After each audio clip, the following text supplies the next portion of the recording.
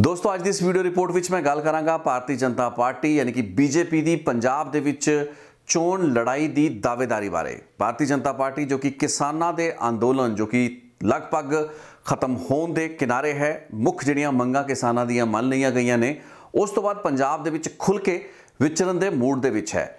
ਆਏ ਦਿਨ ਪਾਰਟੀ ਦੇ ਵਿੱਚ ਕਈ ਲੀਡਰਾਂ ਦੇ ਸ਼ਾਮਲ ਹੋਣ ਦਾ ਸਿਲਸਿਲਾ ਜਾਰੀ ਹੈ। ਮਨਜਿੰਦਰ ਸਿੰਘ ਸਿਰਸਾ, ਸਰਬਜੀਤ ਸਿੰਘ ਮੱਕੜ ਅਤੇ ਪੰਜਾਬ ਦੇ ਸਾਬਕਾ ਡੀਜੀਪੀ ਸਰਬਦੀਪ ਸਿੰਘ ਵਿਰਕ ਸਮੇਤ ਦਰਜਨਾਂ ਲੀਡਰ ਬੀਤੇ ਕੁਝ ਦਿਨਾਂ, ਹਫ਼ਤਿਆਂ ਦੇ ਵਿੱਚ ਭਾਜਪਾ ਨੂੰ ਜੁਆਇਨ ਕਰ ਚੁੱਕੇ ਹੈ।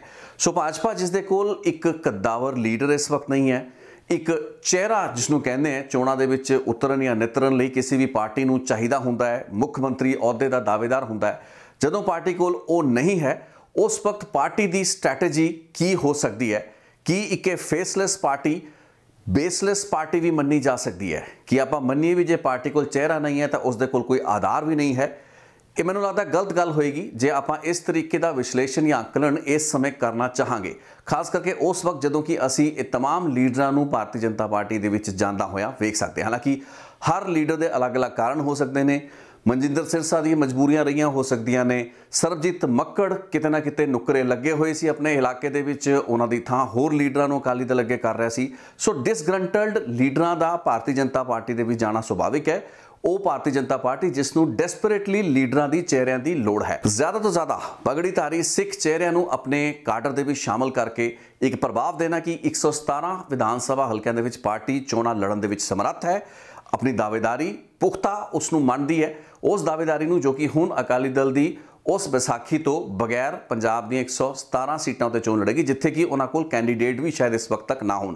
ਸੋ ਇਸ ਪੇੜ ਚਾਲ ਦੇ ਵਿੱਚ ਜਿਹੜਾ ਵੀ ਲੀਡਰ ਆ ਰਿਹਾ ਬੀਜੇਪੀ ਉਸ ਨੂੰ ਆਪਣੀ ਬੈਂਡ ਵੈਗਨ ਤੇ ਚੜਾ ਰਹੀ ਹੈ।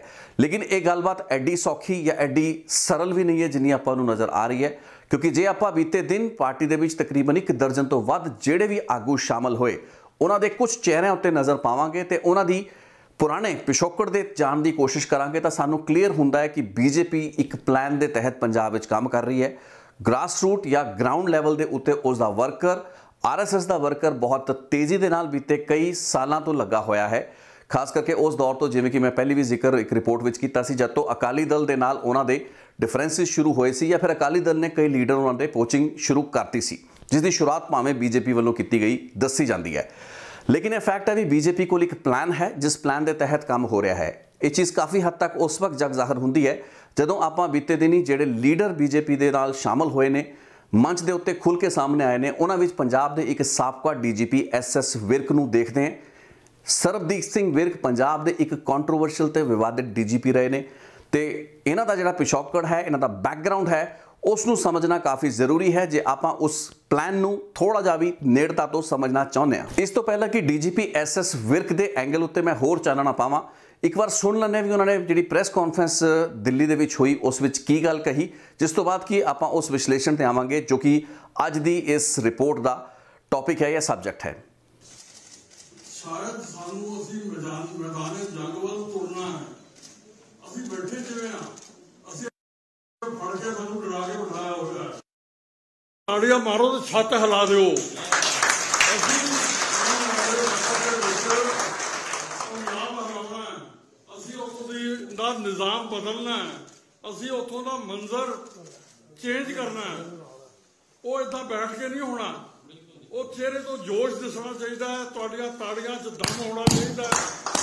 ਉਹਨਾਂ ਨਾਲ ਤਗੜੇ ਹੋ ਕੇ ਸੋਚ ਕੇ ਚੱਲੋ ਕਿ ਅਸੀਂ ਪੰਜਾਬ ਦਾ ਨਿਜ਼ਾਮ ਬਦਲ ਕੇ ਰਹਾਂਗੇ। ਔਰ ਜੇ ਇਹ ਹੈ, ਤੇ ਤਾਂ ਹੀ ਸਾਡਾ ਇੱਥੇ ਹੋਣ ਦਾ ਫਾਇਦਾ, ਨਹੀਂ ਤੇ ਕੋਈ ਫਾਇਦਾ ਨਹੀਂ। ਕਰੋ ਕਰੀ ਬੈਠ ਜਾਈਏ। ਸਰਬਦੀਪ ਸਿੰਘ ਵਿਰਕ, ਪੰਜਾਬ ਦਾ ਉਹ ਨਾ ਉਹ ਚਿਹਰਾ ਜੋ ਕਿ ਪੰਜਾਬ ਦੇ ਵਿੱਚ ਪੁਲਿਸ ਦਾ ਜਿਹੜਾ ਸਿਆਸੀਕਰਨ ਬੀਤੇ ਤਕਰੀਬਨ 2 ਦਹਾਕਿਆਂ ਦੇ ਵਿੱਚ ਹੋਇਆ ਹੈ, ਉਹ ਸਿਆਸੀਕਰਨ ਦਾ ਇੱਕ ਬਹੁਤ ਹੀ ਇੰਪੋਰਟੈਂਟ ਸੈਂਟਰਲ ਕੈਰੈਕਟਰ ਹੈ। ਪੰਜਾਬ ਦੇ ਵਿੱਚ ਵਖਵਾਦ ਖਾੜਕੂਵਾਦ ਦੀ ਇੱਕ ਲੰਬੀ ਚੌੜੀ ਲਹਿਰ ਰਹੀ। ਤਕਰੀਬਨ 12-14 ਸਾਲ ਪੰਜਾਬ ਦੇ ਵਿੱਚ ਖੂਨ ਖਰਾਬੇ ਦੇ ਰਹੇ। ਇਸ ਦੌਰਾਨ ਪੰਜਾਬ ਦਾ ਜਿਹੜਾ ਡੀਜੀਪੀ ਜ਼ਿਆਦਾ ਲੰਮਾ ਸਮਾਂ ਜੋ ਰਿਹਾ ਵੀ ਐਕਸਟੈਂਸ਼ਨਾਂ ਇੱਕ ਤੋਂ ਬਾਅਦ ਇੱਕ ਲੈ ਕੇ ਉਸੇ ਕੇਪੀਐਸ ਗਿੱਲ। ਤੇ ਕੇਪੀਐਸ ਗਿੱਲ ਦੀ ਛਤਰ ਦੇ ਵਿੱਚ ਪੰਜਾਬ ਦੇ ਕਈ ਆਈਪੀਐਸ ਅਫਸਰ ਵਧੇ ਵੀ, ਫੁੱਲੇ ਵੀ। ਡੀਜੀਪੀ ਐਸਐਸ ਵਿਰਕ ਜਿਹੜਾ ਹੈ, ਉਹ ਬੇਸਿਕਲੀ ਮਹਾਰਾਸ਼ਟਰ ਕਾਡਰ ਤੋਂ ਸੀ। ਪੰਜਾਬ ਦੇ ਵਿੱਚ ਡੈਪੂਟੇਸ਼ਨ ਤੇ ਲਿਆਂਦਾ ਗਿਆ ਤੇ ਲਗਾਤਾਰ ਡੈਪੂਟੇਸ਼ਨ ਦੇ ਵਿੱਚ ਐਕਸਟੈਂਸ਼ਨਾਂ ਕਰ ਕਰਕੇ ਬਤੌਰ ਆਈਜੀ ਸੀਆਰਪੀਐਫ ਤੇ ਬਾਅਦ ਦੇ ਸਮੇਂ ਦੇ ਵਿੱਚ ਪੰਜਾਬ ਦੇ ਡੀਜੀਪੀ ਦੇ ਅਹੁਦੇ ਉੱਤੇ ਵੀ ਸਰਬਦੀਪ ਸਿੰਘ ਵਿਰਕ ਨੂੰ ਲਾਤਾ ਗਿਆ। ਸਰਬਦੀਪ ਸਿੰਘ ਵਿਰਕ ਬੇਸਿਕਲੀ ਕੈਪਟਨ ਅਮਰਿੰਦਰ ਦੇ ਬਹੁਤ ਹੀ ਖਾਸਮ ਖਾਸ ਤੇ ਕੌਨਫੀਡੈਂਸ਼ੀਅਲ ਅਫਸਰਾਂ ਵਿੱਚੋਂ ਇੱਕ ਆਉਂਦੇ ਨੇ। ਉਹੀ ਕੈਪਟਨ ਅਮਰਿੰਦਰ ਸਿੰਘ ਜਿਨ੍ਹਾਂ ਦੇ ਭਾਰਤੀ ਜਨਤਾ ਪਾਰਟੀ ਨਾਲ ਸ਼ਾਮਲ ਹੋਣ ਦੇ ਚਰਚੇ ਕਈ ਮਹੀਨੇ ਪਹਿਲਾਂ ਸ਼ੁਰੂ ਹੋ ਜਾਂਦੇ ਨੇ। ਇਸ ਚੀਜ਼ ਦਾ ਗਰਾਊਂਡ ਵਰਕ ਕਈ ਮਹੀਨੇ ਪਹਿਲਾਂ ਤੋਂ ਹੋ ਸਕਦਾ ਹੈ ਕਿ ਤਕਰੀਬਨ 1 ਸਾਲ ਪਹਿਲਾਂ ਤੋਂ ਹੀ ਤਿਆਰ ਹੋ ਚੁੱਕਾ ਹੋਵੇ। ਕੈਪਟਨ ਅਮਰਿੰਦਰ ਸਿੰਘ ਦਾ ਬੀਤੇ ਤਕਰੀਬਨ 4 4.5 ਸਾਲਾਂ ਦੇ ਵਿੱਚ ਨਰਿੰਦਰ ਮੋਦੀ ਦੇ ਖਿਲਾਫ, ਕੇਂਦਰ ਸਰਕਾਰ ਦੇ ਖਿਲਾਫ ਉਹਨਾਂ ਖੁੱਲ ਕੇ ਨਾ ਬੋਲਣਾ। ਕਈ ਬਹੁਤ ਹੀ ਗੰਭੀਰ ਮੁੱਦਿਆਂ ਉੱਤੇ ਵੀ ਨਰਿੰਦਰ ਮੋਦੀ ਦੀ ਤਾਰੀਫ ਕੈਪਟਨ ਅਮਰਿੰਦਰ ਸਿੰਘ ਵੱਲੋਂ ਕੀਤੇ ਜਾਣਾ।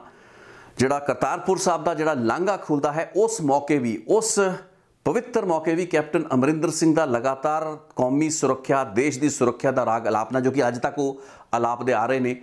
ਇੱਕ ਕੰਸਿਸਟੈਂਸੀ ਜੋ ਕਿ ਕੇਂਦਰ ਦੀ ਬੀਜੇਪੀ ਦੀ ਹਾਈ ਕਮਾਂਡ ਤੇ ਉਸ ਸਰਕਾਰ ਦੀ ਸੋਚ ਦੇ ਨਾਲ ਰਲਦੀ ਹੈ, ਕੈਪਟਨ ਅਮਰਿੰਦਰ ਸਿੰਘ ਦੇ ਉਹਨਾਂ ਵਿਚਾਰਾਂ ਤੇ ਉਹਨਾਂ ਬਿਆਨਾਂ ਦੇ ਵਿੱਚ ਦਿਖ ਸਕਦੀ ਸੀ, ਦਿਖਦੀ ਰਹੀ। ਤੇ ਬਾਅਦ ਦੇ ਵਿੱਚ ਉਹ ਸਾਰੀ ਚੀਜ਼ਾਂ ਜਗ ਜ਼ਾਹਰ ਹੋ ਗਈਆਂ। ਉਹਦੇ ਵਿੱਚ ਕੁਝ ਲੁਕੀ ਛੁਪੀ ਚੀਜ਼, ਕੋਈ ਗੱਲਬਾਤ ਰਹੀ ਨਹੀਂ ਹੈ।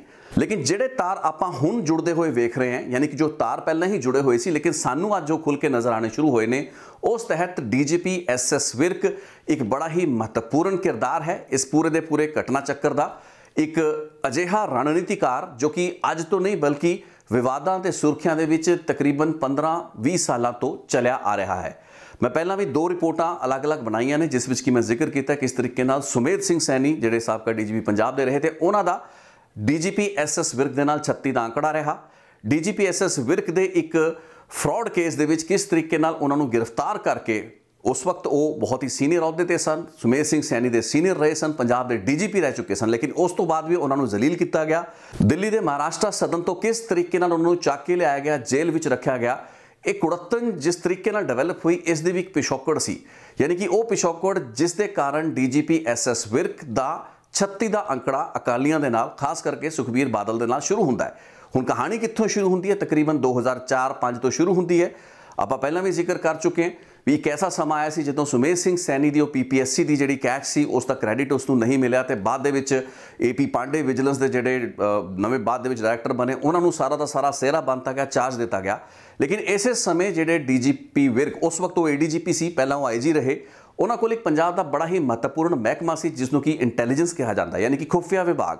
ਸੋ ਇਸੇ ਖੁਫੀਆ ਵਿਭਾਗ ਦੇ ਤਹਿਤ ਡੀਜੀ ਜਾਂ ਉਸ ਵਕਤ, ਉਸ ਸਮੇਂ ਤੋਂ ਪਹਿਲਾਂ ਏਡੀਜੀਪੀ ਦੇ ਅਹੁਦੇ ਤੇ ਰਹੇ ਡੀਜੀ ਵਿਰਕ ਨੇ ਕਾਫੀ ਸੇਵਾਵਾਂ ਜਿਹੜੀਆਂ ਸੀ, ਉਹ ਨਾਰਮਲ ਖੁਫੀਆ ਇੰਟੈਲੀਜੈਂਸ ਦੇ ਨਾਲ ਨਾਲ ਉਹ ਸਿਆਸੀ ਇੰਟੈਲੀਜੈਂਸ ਨੂੰ ਕੈਪਟਨ ਅਮਰਿੰਦਰ ਜਾਂ ਤਤਕਾਲੀ ਜਿਹੜੇ ਮੁੱਖ ਮੰਤਰੀ ਸਨ, ਕੈਪਟਨ ਅਮਰਿੰਦਰ, ਉਹਨਾਂ ਤੱਕ ਪਹੁੰਚਾਉਣ ਦੇ ਵਿੱਚ ਅਦਾ ਕੀਤੀਆਂ। ਉਸ ਦੌਰ ਦੇ ਵਿੱਚ ਇਹ ਵਿਵਾਦ ਇੱਕ ਬਹੁਤ ਵੱਡੇ ਪੱਧਰ ਦਾ ਵਿਵਾਦ ਬਣਿਆ ਸੀ, ਜਿਸ ਵਿੱਚ ਕਿ ਅਕਾਲੀ ਦਲ ਲੀਡਰਸ਼ਿਪ ਨੇ ਪੰਜਾਬ ਦੇ ਡੀਜੀਪੀ ਜਾਂ ਫਿਰ ਇੰਟੈਲੀਜੈਂਸ ਦੇ ਅਫਸਰਾਂ ਵੱਲੋਂ ਸਿਆਸੀ ਇੰਟੈਲੀਜੈਂਸ ਗੈਦਰ ਕਰਨ ਦਾ, ਉਹਨਾਂ ਦੀ ਫੋਨ ਟੈਪਿੰਗ ਕਰਕੇ ਉਹਨਾਂ ਦੀ ਸਿਆਸੀ ਗਤੀਵਿਧੀਆਂ ਉੱਤੇ ਨਜ਼ਰਸਾਨੀ ਕਰਨ ਦਾ ਜਾਂ ਫਿਰ ਨਜ਼ਰ ਰੱਖਣ ਦਾ ਗੰਭੀਰ ਇਲਜ਼ਾਮ ਲਾਣਾ ਸ਼ੁਰੂ ਕੀਤਾ ਸੀ ਤੇ ਖੁੱਲ ਕੇ ਇਹ ਇਲਜ਼ਾਮ ਡੀਜੀਪੀ ਐਸਐਸ ਵਿਰਕ ਦੇ ਉੱਤੇ ਲੱਗੇ।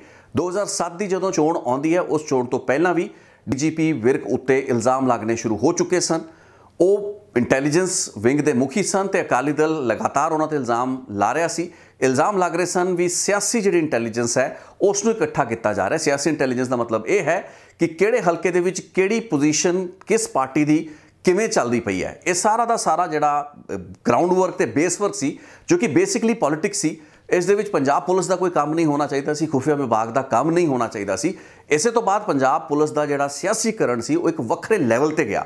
ਇਹ ਉਹ ਟਰਨਿੰਗ ਪੁਆਇੰਟ ਸੀ 2003-4 ਦੇ ਆਸ-ਪਾਸ ਦਾ ਸਮਾਂ, ਕਿਉਂਕਿ ਇਸ ਤੋਂ ਪਹਿਲਾਂ ਅਸੀਂ ਜਿੰਨਾ ਵੀ ਸਮਾਂ ਦੇਖਿਆ, ਬੇਸ਼ੱਕ ਉਹ ਕੇਪੀਐਸ ਗਿੱਲ ਦਾ ਸਮਾਂ ਸੀ, ਬੇਸ਼ੱਕ ਉਸ ਤੋਂ ਬਾਅਦ ਕਈ ਹੋਰ ਡੀਜੀਪੀ ਆਏ ਪੰਜਾਬ ਦੇ ਵਿੱਚ, ਲੇਕਿਨ ਉਹਨਾਂ ਨੇ ਖੁੱਲ ਕੇ ਇਸ ਤਰੀਕੇ ਨਾਲ ਸਿਆਸੀ ਜਿਹੜੀ ਇੰਟੈਲੀਜੈਂਸ ਹੈ ਜਾਂ ਸਿਆਸੀ ਰਿਪੋਰਟਿੰਗ ਹੈ ਆਪਣੇ ਪੋਲੀਟੀਕਲ ਬੌਸਸ ਯਾਨੀ ਕਿ ਮੁੱਖ ਮੰਤਰੀ ਨੂੰ ਉਸ ਤਰੀਕੇ ਨਾਲ ਨਹੀਂ ਦਿੱਤੀ। ਈਵਨ ਬੇਅੰਤ ਸਿੰਘ ਦੇ ਸਮੇਂ ਉੱਤੇ ਜਦੋਂ ਕੇਪੀਐਸ ਗਿੱਲ ਤੁਰਿਆ ਕਰਦੇ ਸਨ ਤਾਂ ਇੱਕ ਵਰਚੁਅਲੀ ਇੱਕ ਪੈਰਲਲ ਕਮਾਂਡ ਦੀ ਤਰ੍ਹਾਂ ਉਹਨਾਂ ਨੇ ਕੰਮ ਕੀਤਾ। ਬੇਸ਼ੱਕ ਫਿਰ ਜੋ ਵੀ ਕੰਮ ਹੋਇਆ, ਉਹ ਜਿਹੜਾ ਸਿਆਸੀ ਇਸ਼ਾਰਾ ਜਾਂ ਸਿਆਸੀ ਜਿਹੜੀ ਜਿਹੜੀ ਥਾਪੜਾ ਸੀ, ਉਸ ਨੂੰ ਬੇਅੰਤ ਸਿੰਘ ਵੱਲੋਂ ਦਿੱਤਾ ਗਿਆ ਸੀ। ਲੇਕਿਨ ਕੇਪੀਐਸ ਗਿੱਲ ਦੀ ਇੱਕ ਆਪਣਾ ਕਿਰਦਾਰ ਸੀ ਤੇ ਉਹ ਬਹੁਤ ਹੀ ਸਿੱਧੇ ਹੋ ਕੇ ਚੱਲੇ ਤੇ ਕਈ ਮੌਕਿਆਂ ਦੇ ਉੱਤੇ ਡਿਫਰੈਂਸਸ ਜਿਹੜੇ ਸੀ, ਉਹ ਪੰਜਾਬ ਦੇ ਡੀਜੀਪੀ, ਯਾਨੀ ਕਿ ਜੋ ਉਸ ਵਕਤ ਸੁਪਰ ਕਾਪ ਸੀ ਕੇਪੀਐਸ ਗਿੱਲ ਤੇ ਪੰਜਾਬ ਦੇ ਤਤਕਾਲੀ ਮੁੱਖ ਮੰਤਰੀ ਬੇਅੰਤ ਸਿੰਘ ਦੇ ਵਿੱਚ ਉਸ ਵਕਤ ਵੀ ਨਜ਼ਰ ਆਏ। ਬੇਸ਼ੱਕ ਇਹ ਦੋਨਾਂ ਨੇ ਇੱਕ ਸੁਰਤਾ ਦੇ ਵਿੱਚ ਕੰਮ ਕੀਤਾ ਤੇ ਪਬਲਿਕਲੀ ਇਸ ਚੀਜ਼ ਨੂੰ ਕਦੇ ਪਤਾ ਨਹੀਂ ਲੱਗਣ ਦਿੱਤਾ ਗਿਆ ਵੀ ਅੰਦਰ ਕਈ ਮੁੱਦਿਆਂ ਤੇ ਮਤਭੇਦ ਵੀ ਰਹੇ ਹੋ ਸਕਦੇ ਨੇ। ਲੇਕਿਨ ਇਹ ਚੀਜ਼ 2003-4 ਤੋਂ ਬਾਅਦ ਬਦਲਦੀ ਹੈ, ਜਦੋਂ ਕਿ ਪੰਜਾਬ ਪੁਲਿਸ ਦਾ ਸਿਆਸੀਕਰਨ ਸ਼ੁਰੂ ਹੋ ਜਾਂਦਾ ਹੈ ਤੇ ਇਸ ਸਿਆਸੀਕਰਨ ਦੀ ਸ਼ੁਰੂਆਤ ਕਾਫੀ ਹੱਦ ਤੱਕ ਇਸੇ ਐਪੀਸੋਡ ਤੋਂ ਹੁੰਦੀ ਹੈ, ਜਿਸ ਤਹਿਤ ਕਿ ਡੀਜੀਪੀ ਜਿਹੜੇ ਰਹੇ ਹੁੰਦੇ ਨੇ ਐਸਐਸ ਵਿਰਕ, ਉਹਨਾਂ ਵੱਲੋਂ 2007 ਤੋਂ ਪਹਿਲਾਂ ਲਗਾਤਾਰ ਉਸ ਪੋਲੀਟੀਕਲ ਸੈਂਸਿਟਿਵ ਇਨਫੋਰਮੇਸ਼ਨ ਜੋ ਕਿ ਉਹਨਾਂ ਵੱਲੋਂ ਗੈਦਰ ਕੀਤੀ ਜਾ ਰਹੀ ਸੀ। ਇੱਕ ਮੈਂ ਇੰਟਰਵਿਊ ਰੀਸੈਂਟਲੀ ਆਖਰੀ ਅ, ਬੀਤੇ ਸਾਲ ਕੀਤਾ ਸੀ ਜਿਸ ਵਿੱਚ ਕਿ ਗੁਰਮੀਤ ਸਿੰਘ ਪਿੰਕੀ ਜੋ ਕਿ ਪੰਜਾਬ ਪੁਲਿਸ ਦਾ ਸਾਬਕਾ ਸੀਏ ਇੰਸਪੈਕਟਰ ਹੈ ਉਸਨੇ ਕੁਝ ਖੁਲਾਸੇ ਕੀਤੇ ਸੀ ਵੀ ਕੁਝ ਅਜਿਹੀਆਂ ਫੋਨ ਰਿਕਾਰਡਿੰਗ ਦੀਆਂ ਮਸ਼ੀਨਾਂ ਮੰਗਾਈਆਂ ਗਈਆਂ ਸਨ 2006-7 ਦੇ ਆਸ-ਪਾਸ ਜਿਨ੍ਹਾਂ ਤੋਂ ਇੱਕ ਬਹੁਤ ਵੱਡਾ ਬਵਾਲ ਖੜਾ ਹੋਇਆ ਕਿਉਂਕਿ ਇਹਨਾਂ ਫੋਨ ਰਿਕਾਰਡਿੰਗ ਦੀਆਂ ਮਸ਼ੀਨਾਂ ਦੇ ਜ਼ਰੀਏ ਹੀ ਸੁਮੇਧ ਸਿੰਘ ਸੈਣੀ ਦੀ ਕੁਝ ਰਿਕਾਰਡਿੰਗ ਵੀ ਕਰਕੇ ਉਸ ਵਕਤ ਦੇ ਪੋਲੀਟੀਕਲ ਬੌਸਸ ਤੱਕ ਪਹੁੰਚਾਤੀ ਗਈ ਸੀ। ਸੋ ਇਸ ਕਾਰਨ ਹੀ ਸੁਮੇਧ ਸਿੰਘ ਸੈਣੀ ਵੀ ਕਾਫੀ ਗੁੱਸੇ ਨਾਲ ਭਰਿਆ ਰਿਹਾ ਤੇ ਬਾਅਦ ਦੇ ਵਿੱਚ 2007 ਤੋਂ ਬਾਅਦ ਉਸਨੇ ਆਪਣਾ ਜਿਹੜਾ ਗੁੱਸਾ ਜਾਂ ਬਦਲਾ ਕਹਿ ਲਈਏ, ਉਹ ਡੀਜੀਪੀ, ਸਾਬਕਾ ਡੀਜੀਪੀ ਐਸਐਸ ਵਿਰਗ ਦੇ ਖਿਲਾਫ ਕੱਢਿਆ ਵੀ।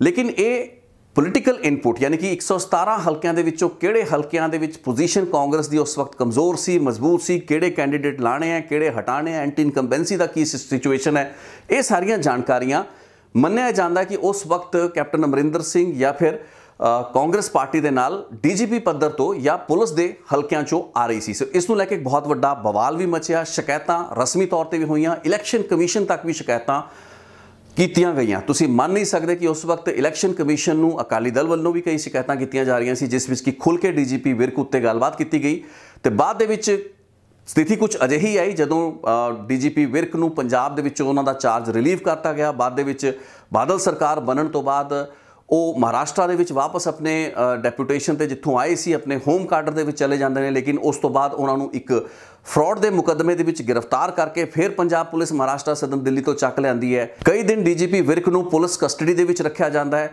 ਜੇਲ੍ਹ ਵੀ ਉਹਨਾਂ ਨੂੰ ਜਾਣਾ ਪੈਂਦਾ ਹੈ। ਬਾਅਦ ਦੇ ਵਿੱਚ ਬੇਲ ਹੋ ਜਾਂਦੀ ਹੈ ਤੇ ਤਕਰੀਬਨ 10-11 ਸਾਲ ਬਾਅਦ ਇਹ ਫਰਾਡ ਦਾ ਮੁਕੱਦਮਾ ਵੀ ਕੈਪਟਨ ਅਮਰਿੰਦਰ ਸਿੰਘ ਦੀ ਸਰਕਾਰ ਜਦੋਂ 2017 ਵਿੱਚ ਵਾਪਸ ਆਂਦੀ ਹੈ, ਮਈ 2017 ਵਿੱਚ ਉਹੀ ਵਿਜੀਲੈਂਸ ਬਿਊਰੋ ਜਿਸ ਨੇ ਕਿ ਇੱਕ ਮੁਕੱਦਮਾ ਦਰਜ ਕੀਤਾ ਹੁੰਦਾ, ਉਸ ਵੱਲੋਂ ਕੇਸ ਵਾਪਸ ਲੈ ਲਿਆ ਜਾਂਦਾ ਹੈ। ਸੋ 10-11 ਸਾਲ ਇਹ ਕੇਸ ਚੱਲਦਾ ਹੈ।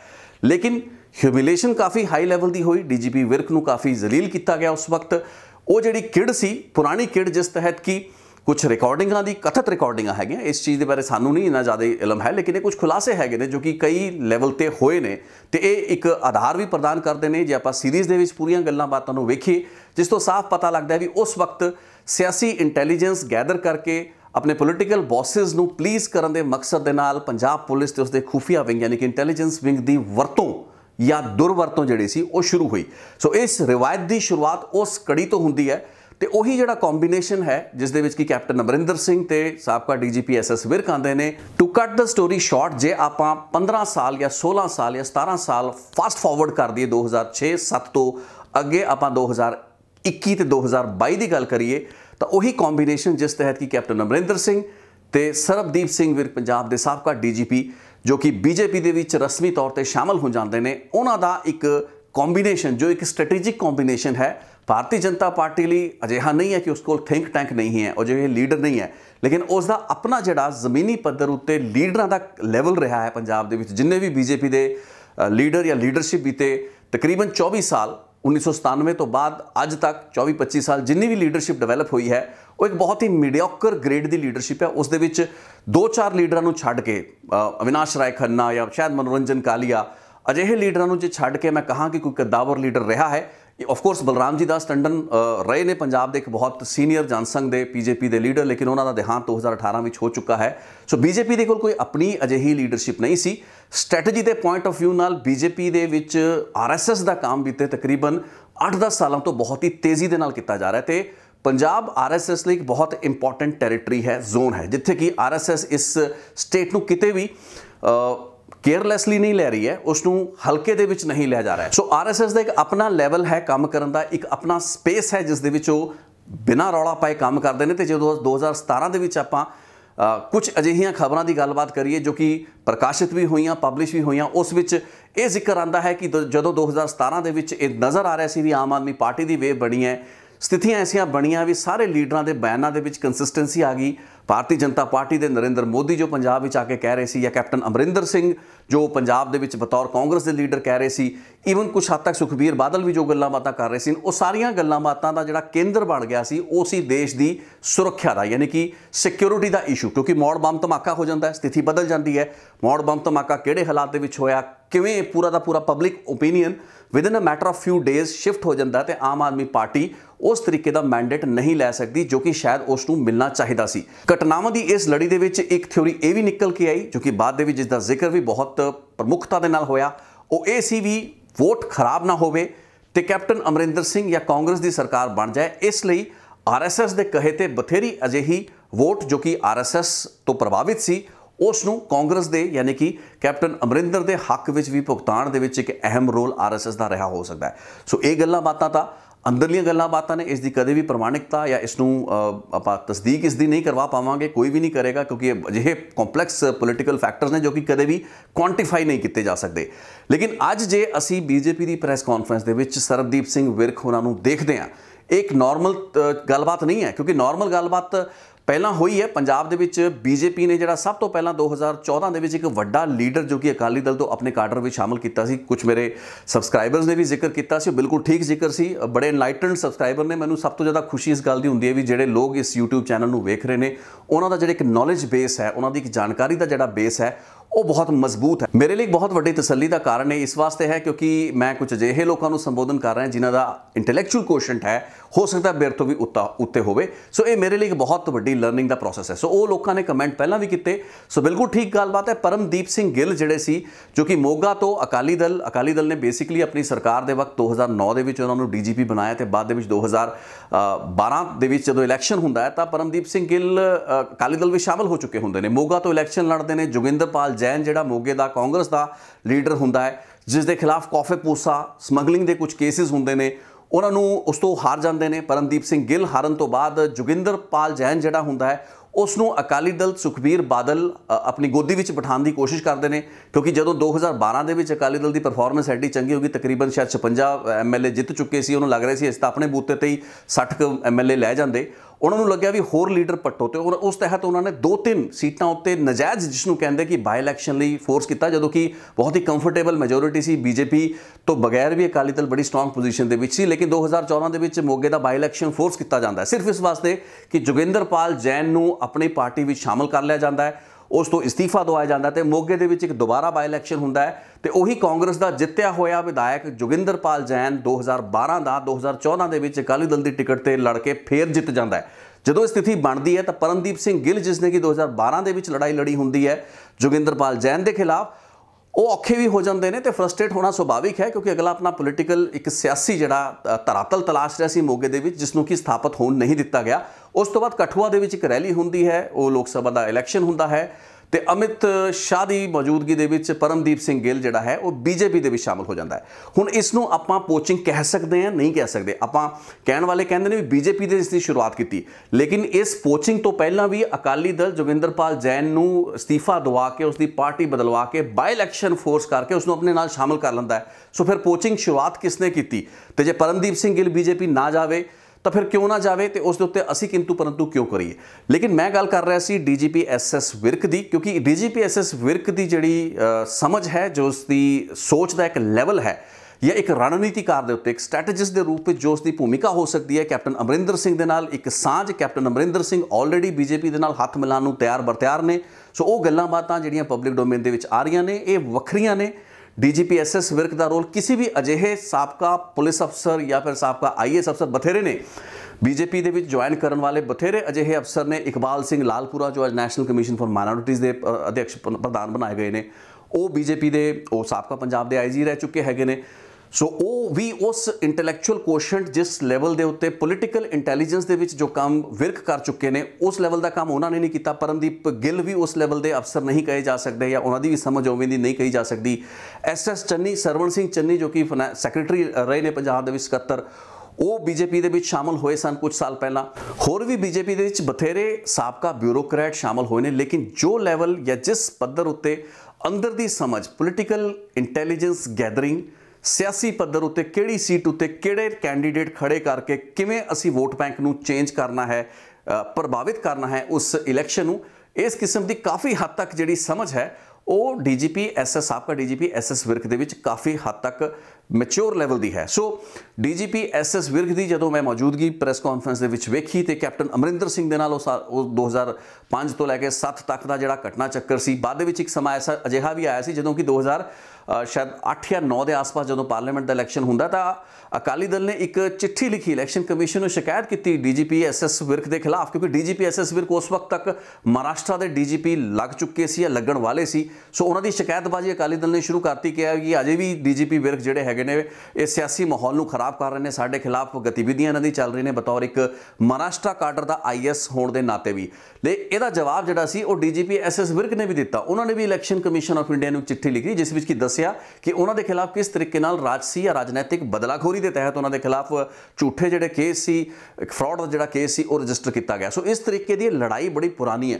ਲੇਕਿਨ ਇਸ ਵਕਤ ਜੋ ਗੇਮ ਚੇਂਜ ਹੋਈ ਹੈ, ਉਹ ਇਹ ਹੋਈ ਹੈ ਕਿ ਸਰਬਦੀਪ ਸਿੰਘ ਵਿਰਕ ਤੇ ਕੈਪਟਨ ਅਮਰਿੰਦਰ ਸਿੰਘ ਦੀ ਇਹ ਜੋੜੀ ਜਿਹੜੀ ਹੈ, ਇਹ ਬੀਜੇਪੀ ਦਾ ਉਹ ਅੰਦਰਲਾ ਗਰਾਊਂਡ ਲੈਵਲ ਦਾ ਥਿੰਕ ਟੈਂਕ ਹੋ ਸਕਦਾ ਕਿਉਂਕਿ ਦੋਵੇਂ ਕਾਗ ਨੇ। ਮੈਂ ਇਹਨੂੰ ਸੌਰੀ ਜੇ ਕਾਗ ਇੰਨਾ 네ਗੇਟਿਵ ਵਰਡ ਹੈ, ਤਾਂ ਸ਼ਾਇਦ ਮੈਨੂੰ ਇਹ ਨਹੀਂ ਵਰਤਣਾ ਚਾਹੀਦਾ। ਲੇਕਿਨ ਇਸ ਨੂੰ ਮੈਂ ਇੱਕ ਰਣਨੀਤੀ ਦੇ ਤੌਰ ਤੇ ਇੱਕ ਉਸ ਤਰੀਕੇ ਦੀ ਵਿਉਂਤਬੰਦੀ ਦੇ ਤੌਰ ਤੇ ਸ਼ਬਦ ਨੂੰ ਮੈਂ ਵਰਤਣਾ ਚਾਹ ਰਿਹਾ ਜਿਸ ਨੂੰ ਕਿ ਤੁਸੀਂ ਥੋੜਾ ਜਿਹਾ ਪੋਜ਼ਿਟਿਵ ਲੈਣ ਦੀ ਕੋਸ਼ਿਸ਼ ਕਰਿਓ, ਯਾਨੀ ਕਿ ਉਹ ਕਾਗ ਜੋ ਕਿ ਪੂਰੀ ਸਥਿਤੀ ਨੂੰ ਸਮਝਦੇ ਨੇ, ਜਿਨ੍ਹਾਂ ਨੇ ਉਹਨਾਂ ਹਾਲਾਤਾਂ ਦੇ ਵਿੱਚ ਪਹਿਲਾਂ ਵੀ ਉਸ ਖੇਡ ਨੂੰ ਖੇਡਿਆ ਹੈ। ਕੈਪਟਨ ਅਮਰਿੰਦਰ ਸਿੰਘ ਦਾ ਤਜਰਬਾ ਪੋਲਿਟਿਕਸ ਦੇ ਵਿੱਚ ਬੜਾ ਪੁਰਾਣਾ ਹੈ ਤੇ ਐਸਐਸ ਵਿਰਕ ਜਿਹੜੇ ਕਿ ਬੇਸ਼ੱਕ 2-3 ਸਾਲ ਉਹਨਾਂ ਨੇ ਇਸ ਤਰੀਕੇ ਦੀ ਇੰਟੈਲੀਜੈਂਸ ਕੀਤੀ ਤੇ ਉਸ ਤੋਂ ਪਹਿਲਾਂ ਵੀ ਬਹੁਤ ਲੰਮਾ ਸਮਾਂ, ਮੈਂ ਇਹ ਦੱਸਦਾ ਵੀ ਡੀਜੀਪੀ ਐਸਐਸ ਵਿਰਕ ਪੰਜਾਬ ਦੇ ਵਿੱਚੋਂ ਕੈਟ ਦਾ ਜਿਹੜਾ ਕਨਸੈਪਟ ਆਪਾਂ ਪਹਿਲਾਂ ਵੀਡੀਓ ਬਣਾ ਚੁੱਕੇ ਹਾਂ, ਉਸ ਨੂੰ ਸ਼ੁਰੂ ਕਰਨ ਵਾਲੇ ਉਹਨਾਂ ਅਫਸਰਾਂ ਦੇ ਵਿੱਚੋਂ ਸਨ ਤੇ ਤਕਰੀਬਨ 250 ਤੇ 300 ਬਾਈ ਐਡਮਿਸ਼ਨ ਯਾਨੀ ਕਿ ਖੁਦ ਉਹਨਾਂ ਵੱਲੋਂ ਐਡਮਿਟ ਕੀਤਾ ਗਿਆ ਹੈ।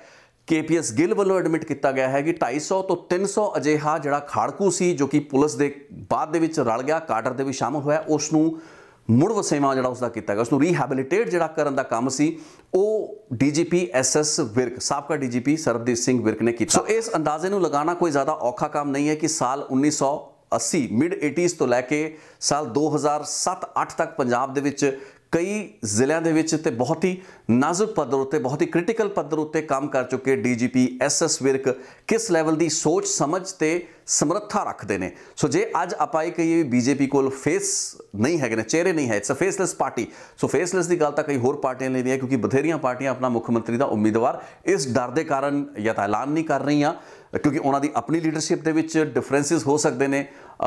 ਕੋਈ ਲੀਡਰ ਇਸ ਲੈਵਲ ਦਾ ਹੈ ਹੀ ਨਹੀਂ ਜਿਸ ਉੱਤੇ ਕਿ ਐਡੀ ਟੇਕ ਲਗਾਈ ਜਾ ਸਕੇ ਐਡਾ ਵੱਡਾ ਦਾਵਾ ਰੱਖਿਆ ਜਾ ਸਕੇ ਸੋ ਬਥੇਰੀਆਂ ਪਾਰਟੀਆਂ ਉਸ ਤਰੀਕੇ ਨਾਲ ਮੁੱਖ ਮੰਤਰੀ ਦੇ ਅਹੁਦੇਦਾਰ ਦੇ ਦਾਅਵੇਦਾਰ ਪੱਖੋਂ ਫੇਸਲੈਸ ਹੀ ਨੇ ਲੇਕਿਨ ਉਸ ਸਥਿਤੀ ਦੇ ਵਿੱਚ ਬੀਜੇਪੀ ਜੋ ਕਿ ਆਏ ਦਿਨ ਆਪਾਂ ਅਲੱਗ-ਅਲੱਗ ਚਿਹਰਿਆਂ ਨੂੰ ਆਪਣੀ ਪਾਰਟੀ ਦੇ ਵਿੱਚ ਸ਼ਾਮਲ ਕਰਕੇ ਇੱਕ ਮਾਹੌਲ ਬਣਾਉਣ ਦੀ ਕ੍ਰੀਏਟ ਕਰਨ ਦੀ ਕੋਸ਼ਿਸ਼ ਕਰ ਰਹੀ ਹੈ ਆਪਾਂ ਇਹ ਨਾ ਮੰਨ ਕੇ ਚੱਲੀਏ ਕਿ ਬੀਜੇਪੀ ਇਹ ਸਿਰਫ ਦਿਖਾਵਾ ਕਰਨ ਲਈ ਕਰ ਰਹੀ ਹੈ ਇਹ ਠੀਕ ਗੱਲਬਾਤ ਹੈ ਹਵਾ ਬਣਾਉਣ ਲਈ ਲੋਕਾਂ ਦੇ ਵਿੱਚ ਪ੍ਰਭਾਵ ਦੇਣ ਲਈ ਇੱਕ ਇੰਪੈਕਟ ਛੱਡਣ ਲਈ ਇਹ ਸਾਰੀਆਂ ਗੱਲਾਂ ਬਾਤਾਂ ਕੀਤੀਆਂ ਜਾ ਰਹੀਆਂ ਹੋ ਸਕਦੀਆਂ ਨੇ ਲੇਕਿਨ ਇਸ ਤੋਂ ਇਲਾਵਾ ਵੀ देयर इज ਅਨਦਰ ਪਲਾਨ ਇੱਕ ਪਲਾਨ ਬਿਹਾਈਂਡ ਦਾ ਸੀਨ ਕੰਮ ਕਰ ਰਿਹਾ ਹੈ। ਉਸ ਨੂੰ ਆਪਾਂ ਆਰਐਸਐਸ ਦਾ ਕੰਮ ਕਹੀਏ ਆਰਐਸਐਸ ਦਾ ਪਲਾਨ ਕਹੀਏ ਬਿਹਾਈਂਡ ਦਾ ਸੀਨ ਕਿਹੜੇ ਲੋਕਾਂ ਦਾ ਪਲਾਨ ਕਹੀਏ? ਲੇਕਿਨ ਜੇ ਕੈਪਟਨ ਅਮਰਿੰਦਰ ਸਿੰਘ ਬੀਜੇਪੀ ਦੇ ਨਾਲ ਅੰਦਰ ਖਾਤਿਓਂ ਹੱਥ ਰਲਾ ਕੇ ਕਈ ਸਾਲਾਂ ਤੋਂ ਜਾਂ ਕਈ ਮਹੀਨਿਆਂ ਤੋਂ ਕੰਮ ਕਰ ਰਹੇ ਨੇ ਤੇ ਉਸ ਪੂਰੀ ਦੀ ਪੂਰੀ ਵਿਉਂਤਬੰਦੀ ਦੇ ਵਿੱਚ ਸਾਬਕਾ ਡੀਜੀਪੀ ਐਸਐਸ ਵਿਰਕ, ਜੋ ਕਿ ਉਹਨਾਂ ਦੇ ਬਹੁਤ ਕਰੀਬੀ ਰਹੇ, ਇੱਕ ਦੂਸਰੇ ਦੇ ਨਾਲ ਸਾਥ ਦੇਣਾ ਜਾਂ ਉਸ ਸਾਥ ਨੂੰ ਨਿਭਾਉਣ ਦੇ ਕਾਰਨ ਤੌਮਤਾਂ ਇੱਕ ਦੂਸਰੇ ਉੱਤੇ ਖੂਬ ਲੱਗੀਆਂ ਦੋਵਾਂ ਦੇ ਉੱਤੇ। ਸੋ ਉਹਨਾਂ ਹਾਲਾਤਾਂ ਦੇ ਵਿੱਚ ਇਸ ਕੰਬੀਨੇਸ਼ਨ ਨੂੰ ਕੀ ਬੀਜੇਪੀ ਦੇ ਗਰਾਊਂਡ ਲੈਵਲ ਦੇ ਉੱਤੇ ਜਿਸ ਸੋਚ ਜਾਂ ਸਮਝ ਦੀ ਲੋੜ ਹੈ, Bharatiya Janata Party as a political outfit ਕਿ ਆਪਾਂ ਮੰਨੀਏ ਕਿ ਉਹ ਲੋੜ ਇੱਥੇ ਪੂਰੀ ਹੁੰਦੀ ਹੈ। ਇਸ ਪੂਰੀ ਗੱਲਬਾਤ ਤੋਂ ਜਿਹੜੀ ਚੀਜ਼ ਸੌਖੇ ਤਰੀਕੇ ਨਾਲ ਸਮਝੀ ਜਾ ਸਕਦੀ ਹੈ ਕਿ ਭਾਰਤੀ ਜਨਤਾ ਪਾਰਟੀ ਵੀ ਕੁਝ ਅਜਿਹੇ ਲੋਕਾਂ ਨੂੰ ਲੈ ਕੇ ਬੈਠੀ ਹੈ, ਕੁਝ ਅਜਿਹੇ ਸਟ੍ਰੈਟੇਜਿਸਟ, ਕੁਝ ਅਜਿਹਾ ਥਿੰਕ ਟੈਂਕ ਜੋ ਕਿ ਜ਼ਮੀਨੀ ਪੱਧਰ ਉੱਤੇ ਗਰਾਊਂਡ ਪੱਧਰ ਉੱਤੇ ਕਾਫੀ ਗਹਿਰੀ ਸਮਝ ਰੱਖਦਾ ਹੈ। ਸੋ ਇਹ ਜਿਹੜੇ ਕਨੈਕਸ਼ਨ ਹੁਣ ਜਗ ਜ਼ਾਹਰ ਹੋ ਰਹੇ ਨੇ, ਉਹ ਤਾਰ ਜਿਹੜੇ ਹੈਗੇ ਨੇ ਡੀਜੀਪੀ ਸਾਬਕਾ ਡੀਜੀਪੀ ਐਸਐਸ ਵਿਰਕ ਅਤੇ ਕੈਪਟਨ ਅਮਰਿੰਦਰ ਵਰਗਿਆਂ ਦੇ, ਉਹ ਹੁਣ ਜਗ ਜ਼ਾਹਰ ਹੋ ਰਹੇ ਨੇ। ਇਟ ਮੀਨਸ ਕਿ ਗੱਲਬਾਤ ਪਿਛਲੇ ਕਈ ਮਹੀਨਿਆਂ ਤੋਂ ਕਈ ਸਾਲਾਂ ਤੋਂ ਵੀ ਤੁਰ ਰਹੀ ਹੋ ਸਕਦੀ ਹੈ। ਇੱਕ ਆਧਾਰ ਪਹਿਲਾਂ ਹੀ ਬਣਾਇਆ ਜਾ ਰਿਹਾ ਸੀ, ਜਿਵੇਂ ਮੈਂ ਪਹਿਲਾਂ ਵੀ ਰਿਪੋਰਟ ਦੇ ਵਿੱਚ ਜ਼ਿਕਰ ਕੀਤਾ ਕਿ ਆਰਐਸਐਸ ਤਾਂ ਕਈ ਸਾਲਾਂ ਤੋਂ ਇੱਥੇ ਕੰਮ ਕਰ ਰਹੀ ਹੈ। ਲੇਕਿਨ ਹੁਣ ਇਸ ਪੂਰੀ ਦੀ ਪੂਰੀ ਸਥਿਤੀ ਨੂੰ ਇੱਕ ਵੱਖਰੇ ਤਰੀਕੇ ਤੇ ਰੌਸ਼ਨੀ ਨਾਲ ਵੇਖਣ ਦੀ ਲੋੜ ਵੀ ਹੋਏਗੀ, ਖਾਸ ਕਰਕੇ ਉਸ ਸਥਿਤੀ ਦੇ ਵਿੱਚ ਜਦੋਂ ਕਿ ਪੰਜਾਬ ਦਾ ਜਿਹੜਾ ਚੋਣ 2022 ਦੀ ਫਰਵਰੀ ਦੀਆਂ ਚੋਣਾਂ ਹੈਗੀਆਂ ਨੇ, ਉਹ ਇੱਕ ਬਾਈਪੋਲਰ ਕੰਟੈਸਟ ਨਹੀਂ ਹੋਏਗਾ, ਯਾਨੀ ਕਿ ਦੋ ਧਿਰਾਂ ਦੇ ਵਿੱਚ, ਦੋ ਮਜ਼ਬੂਤ ਸਿਆਸੀ ਧਿਰਾਂ ਦੇ ਵਿੱਚ ਆਮੋ ਸਾਹਮਣੇ ਦਾ ਮੁਕਾਬਲਾ ਨਹੀਂ ਹੋਣ ਜਾ ਰਿਹਾ, ਬਲਕਿ ਇੱਕ ਮਲਟੀਪੋਲਰ ਕੰਟੈਸਟ ਹੈ। ਤਿਕੋਣਾ ਵੀ ਹੋ ਸਕਦਾ ਹੈ, ਇਸ ਦੇ ਵਿੱਚ ਚਾਰ ਧਿਰਾਂ ਵੀ ਹੋ ਸਕਦੀਆਂ ਨੇ, ਕਈ ਬਾਗੀ ਵੀ ਹੋ ਸਕਦੇ ਨੇ। ਸੋ ਜਿਵੇਂ ਜਿਵੇਂ ਪਾਰਟੀਆਂ ਆਪਣੇ ਕੈਂਡੀਡੇਟ ਹੋਰ ਅਨਾਉਂਸ ਕਰਨਗੀਆਂ, ਚਾਹੇ ਅਕਾਲੀ ਦਲ ਹੋਵੇ, ਚਾਹੇ ਕਾਂਗਰਸ ਹੋਵੇ, ਆਮ ਆਦਮੀ ਪਾਰਟੀ ਹੋਵੇ, ਤੇ ਉਸ ਤੋਂ ਬਾਅਦ ਡਿਸਗਰੰਟਲਡ ਐਲੀਮੈਂਟ ਜਿਵੇਂ ਕਿ ਸਰਬਜੀਤ ਸਿੰਘ ਮੱਕੜ ਆਏ ਹੈਗੇ ਨੇ, ਉਹ ਲੀਡਰਾਂ ਨੂੰ ਆਪਣੇ ਨਾਲ ਸ਼ਾਮਲ ਕਰਕੇ ਜ਼ਮੀਨੀ ਹਾਲਾਤਾਂ ਦੇ ਵਿੱਚ ਇੱਕ ਬਹੁਤ ਹੀ ਫਸਵੀਂ ਤੇ ক্লোਜ਼ ਫਾਈਟ ਜਿਸ ਨੂੰ ਕਹਾਂਗੇ, ਜਿਸ ਵਿੱਚ ਕਿ ਜਿੱਤ ਤੇ ਹਾਰ ਦਾ ਜਿਹੜਾ ਅੰਤਰ ਹੋਏਗਾ, ਕੁਝ ਸੈਂਕੜਾ ਤੇ ਕੁਝ ਹਜ਼ਾਰਾਂ ਵੋਟਾਂ ਦਾ ਹੀ ਹੋ ਸਕਦਾ ਹੈ। ਉਸ ਦੇ ਵਿੱਚ ਭਾਰਤੀ ਜਨਤਾ ਪਾਰਟੀ ਆਪਣੇ ਲਈ ਕੀ ਸ਼ੇਅਰ ਹਾਸਲ ਕਰਨ ਦੀ ਕੋਸ਼ਿਸ਼ ਕਰ ਸਕਦੀ ਹੈ, ਕਿੰਨਾ ਸ਼ੇਅਰ ਉਹ ਟਾਰਗੇਟ ਕਰ ਸਕਦੀ ਹੈ, ਉਸ ਵਿੱਚੋਂ ਕਿੰਨਾ ਅਚੀਵ ਕਰ ਸਕਦੀ ਹੈ, ਕੈਪਟਨ ਅਮਰਿੰਦਰ ਸਿੰਘ ਕਿੱਡੇ ਕੁ ਵੱਡੇ ਫੈਕਟਰ ਹੋ ਸਕਦੇ ਨੇ, ਉਹਨਾਂ ਦਾ ਆਪਣੇ ਪੱਲੇ ਕੀ ਹੈ, ਆਪਣਾ ਉਹਨਾਂ ਦਾ ਪੂਰਾ ਦਾ ਪੂਰਾ ਆਧਾਰ ਹੈ, ਉਹ ਕਿੰਨਾ ਕਾਰਗਰ ਸਾਬਤ ਹੋਏਗਾ, ਇਹ ਚੀਜ਼ ਵੇਖਣ ਵਾਲੀ ਹੋਏਗੀ, ਲੇਕਿਨ BJP certainly has an plan ਉਹਨਾਂ ਕੋਲ ਇੱਕ ਪਲਾਨ ਹੈ, ਸੋ ਆਉਣ ਵਾਲੇ ਕੁਝ ਹਫ਼ਤਿਆਂ ਦੇ ਵਿੱਚ ਸਥਿਤੀ ਹੋਰ ਕਲੀਅਰ ਹੋਏਗੀ, ਜਦੋਂ ਟਿਕਟਾਂ ਦਾ ਐਲਾਨ ਹੁੰਦਾ ਹੈ ਕਿਉਂਕਿ ਭਾਰਤੀ ਜਨਤਾ ਪਾਰਟੀ ਇਸ ਵਾਰ ਲੱਗ ਰਿਹਾ ਹੈ ਵੀ ਕਾਂਗਰਸ ਦੀ ਤਰ੍ਹਾਂ ਹੀ ਆਪਣੀ ਟਿਕਟਾਂ ਨੂੰ ਆਖਰੀ ਮੌਕੇ ਤੱਕ ਹੋਲਡ ਕਰਨ ਵਾਲੀ ਤੇ ਹੋਰ ਜਿਹੜੇ ਕੈਂਡੀਡੇਟਸ ਨੂੰ ਵੇਖ ਕੇ ਹੀ ਚੋਣਾਂ ਦੇ ਵਿੱਚ ਆਪਣੇ ਉਮੀਦਵਾਰ ਉਤਾਰਨ ਵਾਲੀ ਪਾਰਟੀ ਸਾਬਤ ਹੋਏਗੀ, ਜੋ ਕਿ ਅਕਸਰ ਕਾਂਗਰਸ ਨਾਲ ਹੋ ਰਿਹਾ ਹੁੰਦਾ ਹੈ। ਸੋ ਇਸ ਸਥਿਤੀ ਦੇ ਵਿੱਚ ਕਈ ਚੀਜ਼ਾਂ ਹਜੇ ਵੀ ਡਿਸਕਸ ਹੋਰ ਹੋਣੀਆਂ ਹੈਗੀਆਂ ਨੇ। ਸਥਿਤੀ ਨੇ ਹੋਰ ਕਲੀਅਰ ਹੋਣਾ ਤਸਵੀਰ ਹੋਰ ਸਾਫ਼ ਹੋਏਗੀ ਕੁਝ ਹਫ਼ਤਿਆਂ ਦੇ ਵਿੱਚ ਹੋ ਸਕਦਾ ਉਸ ਤੋਂ ਬਾਅਦ ਵੀ ਨਾ ਸਾਫ਼ ਹੋਏ। ਸੋ ਇਹ ਵਿਸ਼ਲੇਸ਼ਣ ਦਾ ਦੌਰ ਮੈਂ ਇਸ ਤਰੀਕੇ ਨਾਲ ਤੁਹਾਡੇ ਸਾਹਮਣੇ ਲੈ ਕੇ ਹਾਜ਼ਰ ਹੁੰਦਾ ਰਾਂਗਾ ਲੇਕਿਨ ਅੱਜ ਦੀ ਰਿਪੋਰਟ ਦੇ ਵਿੱਚ ਮੈਂ ਇਸ ਸਾਬਕਾ ਡੀਜੀਪੀ ਐਸਐਸ ਵਿਰਕ ਤੇ ਕੈਪਟਨ ਅਮਰਿੰਦਰ ਸਿੰਘ ਦੇ ਇਸ ਪੁਰਾਣੇ ਕਨੈਕਸ਼ਨ ਤੇ ਉਸ ਪਿਛੋਕੜ ਨੂੰ ਤੁਹਾਡੀ ਨਜ਼ਰ ਕਰਨਾ ਚਾਹ ਰਿਹਾ ਸੀ, ਜੋ ਕਿ ਇੱਕ ਆਧਾਰ ਮਜ਼ਬੂਤ ਆਧਾਰ ਪ੍ਰੋਵਾਈਡ ਕਰਦਾ ਸਾਨੂੰ ਇਹ ਸਮਝਣ ਦਾ ਜਾਂ ਸੋਚਣ ਦਾ ਕਿ ਬੀਜੇਪੀ ਕੋਲ ਅਜਿਹੇ ਲੋਕ ਹੈਗੇ ਨੇ, ਜੋ ਕਿ ਇੱਕ ਗਹਿਰੀ ਸਿਆਸੀ ਸਮਝ ਰੱਖਦੇ ਨੇ ਤੇ ਉਸ ਉੱਤੇ ਕੰਮ ਕਰ ਸਕਦੇ ਨੇ। ਬੇਸ਼ੱਕ ਐਜ਼ ਅ ਪਾਰਟੀ ਕਿਸਾਨੀ ਅੰਦੋਲਨ ਤੋਂ ਬਾਅਦ ਕਾਫੀ ਡਿਸਕ੍ਰੈਡਿਟ ਹੋਈ ਹੈ ਭਾਰਤੀ ਜਨਤਾ ਪਾਰਟੀ ਕੈਪਟਨ ਅਮਰਿੰਦਰ ਸਿੰਘ ਦੀ ਐਂਟੀ ਇਨਕੰਬੈਂਸਿੰਗ ਦਾ ਐਂਟੀ ਇਨਕੰਬੈਂਸੀ ਦਾ ਜਿਹੜਾ ਬੋਝ ਹੈ, ਉਹ ਵੀ ਆਪਣੇ ਮੋਢਿਆਂ ਦੇ ਉੱਤੇ ਲੈ ਕੇ ਤੁਰਨਾ ਪਏਗਾ। ਕਿਤੇ ਨਾ ਕਿਤੇ ਅਮਰਿੰਦਰ ਸਿੰਘ ਦੀ ਆਪਣੀ ਜਿਹੜੀ ਪੰਜਾਬ ਲੋਕ ਕਾਂਗਰਸ ਹੈ ਤੇ ਬੀਜੇਪੀ ਨੂੰ ਵੀ ਲੈ ਕੇ ਤੁਰਨਾ ਪਏਗਾ, ਜੇ ਕਿਤੇ ਇਹਨਾਂ ਦੀ ਆਪਸ ਦੇ ਵਿੱਚ ਸਾਂਝ ਹੁੰਦੀ ਹੈ। ਲੇਕਿਨ ਗੱਲ ਉਹੀ ਹੈ ਵੀ ਜਿੱਥੇ ਜਿੱਤ ਤੇ ਹਾਰ ਦਾ ਅੰਤਰ ਹੀ ਕੁਝ ਸੈਂਕੜਾਂ ਦੇ ਵਿੱਚ ਹੋਣਾ ਹੈ, ਉੱਥੇ ਆਪਣੇ ਹਿੱਸੇ, ਆਪਣੇ ਸਿਆਸੀ ਹਿੱਸੇ ਨੂੰ ਤਲਾਸ਼ਣ ਦੇ ਵਿੱਚ ਹਰਜ਼ ਹੀ ਕੀ ਹੈ? ਇੱਕ ਪੋਲੀਟੀਕਲ ਆਊਟਫਿਟ ਦੇ ਤੌਰ ਤੇ ਬੀਜੇਪੀ ਇਸ ਦੀ ਕੋਸ਼ਿਸ਼ ਕਰੇਗੀ। ਸੋ ਵੇਖਦੇ ਹਾਂ ਆਉਣ ਵਾਲੇ ਸਮੇਂ ਵਿੱਚ ਕੀ ਹੁੰਦਾ ਹੈ। ਵਿਸ਼ਲੇਸ਼ਣ ਦਾ ਸਿਲਸਿਲਾ, ਰਿਪੋਰਟਾਂ ਦਾ ਸਿਲਸਿਲਾ ਜਾਰੀ ਰਹੇਗਾ। ਬਹੁਤ ਬਹੁਤ ਧੰਨਵਾਦ ਰਿਤੇਸ਼ ਲਖਿਆਨ ਪਲੱਗ ਦੀ ਇਸ ਰਿਪੋਰਟ ਨੂੰ ਵੇਖਣ ਲਈ। ਜੁੜਦੇ ਰਹੋ ਨਾਲ, ਲੈ ਕੇ ਇਹੋ ਜਿਹੀਆਂ ਰਿਪੋਰਟਸ ਹੋਰ ਆਂਦਾ ਰਾਂਗਾ ਤੁਹਾਡੇ ਸਾਹਮਣੇ। Thank you so much